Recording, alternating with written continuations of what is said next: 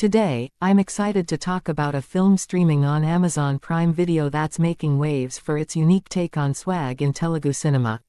This bold choice deserves applause. Sree Vishnu truly shines as the hero, showcasing an impressive performance that keeps you engaged throughout the film. His acting skills are on full display, and it's hard not to admire how he brings his characters to life. It's clear that he's earned the title of Content King, even if some critics think it's a bit much. The truth is, his talent is undeniable. The film's writer, Hasith, has done a good job covering the director's few missteps, keeping the narrative flowing.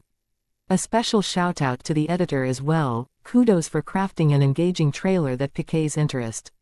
While the movie didn't quite hit me emotionally as I hoped, it still stands out as one of the better films of the year.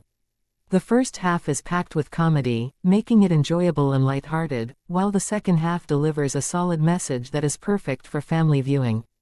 Some viewers find the film confusing, especially if they're used to typical mass commercial films. But trust me, if you focus, the story unfolds beautifully. It's a refreshing narrative that challenges conventional perspectives on gender equality, which is incredibly relevant today. Meera Jasmine and Sunil also contribute to the film's charm, even if Sunil's role is brief. The story is layered, thought-provoking, and has a strong social message, making it a must-watch.